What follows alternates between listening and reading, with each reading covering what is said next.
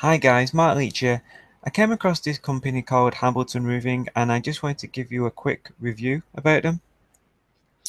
So they deal with roof repairs and roof replacements. They're pretty affordable when compared to their competitors.